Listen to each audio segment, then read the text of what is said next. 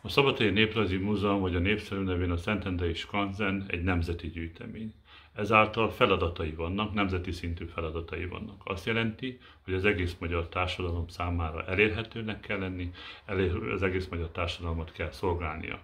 Ennek megfelelően mi nem csak felnőtteknek vagy gyermekeknek, nem csak épeknek, egészséges embereknek, vagy éppen beteg embereknek készítünk programokat, hanem mindenkinek.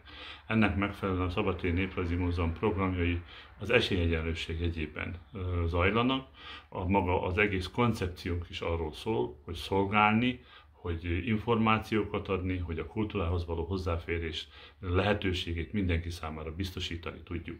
Ennek megfelelően dolgozunk együtt különböző szervezetekkel, olyan szervezetekkel, amelyek vagy testi, vagy szellemi, vagy éppen társadalmi fogyatékkal vagy nehézséggel élő emberekkel foglalkoznak. Ennek megfelelően megtalálhatóak nálunk ezek a szervezetek, ezek a foglalkozások, és az ő számukra a megfelelő programok is. Hívunk és várunk mindenkit, mert a Skanzen egy nemzeti gyűjtemény mindenkié.